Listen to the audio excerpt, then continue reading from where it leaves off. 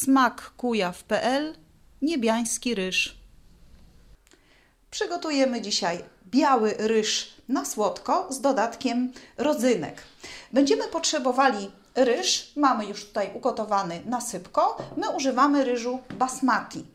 Y, Będziemy również potrzebować cebulkę, cebulka czerwona i cebulka biała. Mamy to już pokrojoną w drobną kosteczkę, pół jednej cebulki i pół drugiej cebulki. Taka ilość do tej porcji będzie odpowiednia. Mamy posiekany również y, ząbek, dwa ząbki czosnku w zależności od upodobań. I oczywiście rodzynki będą potrzebne. Tutaj jest taka dosyć solidna garść. Rodzynki musimy namoczyć w wodzie. Oczywiście nasz ryż musimy doprawić świeżo zmielonym pieprzem i solą do smaku. Będziemy potrzebowali oleju do podsmażenia naszego ryżu. Na rozgrzany olej wrzucamy ząbek czosnku, posiekany oczywiście. Odrobinkę go przyrumienimy i za chwileczkę wrzucimy cebulkę. Wrzucamy cebulkę i podsmażymy ją do momentu zeszklenia.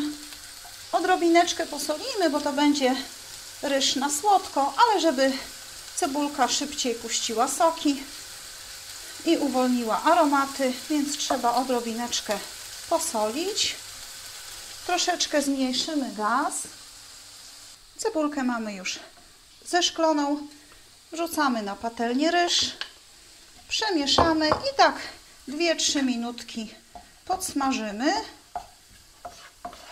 żeby ryż przeszedł aromatem cebulki i czosnku. Ryż już mamy podsmażony. Wrzucamy rodzynki. Oczywiście one były wcześniej namoczone i odsączone. Przemieszamy. Wsypujemy łyżeczkę cukru. Dodajemy pieprz. Wszystko jeszcze mieszamy.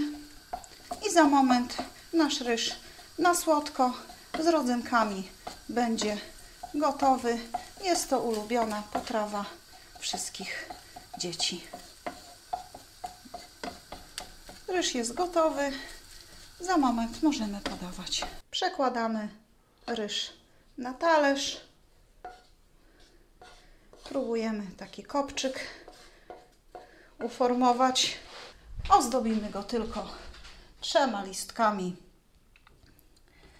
natki pietruszki i gotowy ryż na słodko z rodzynkami.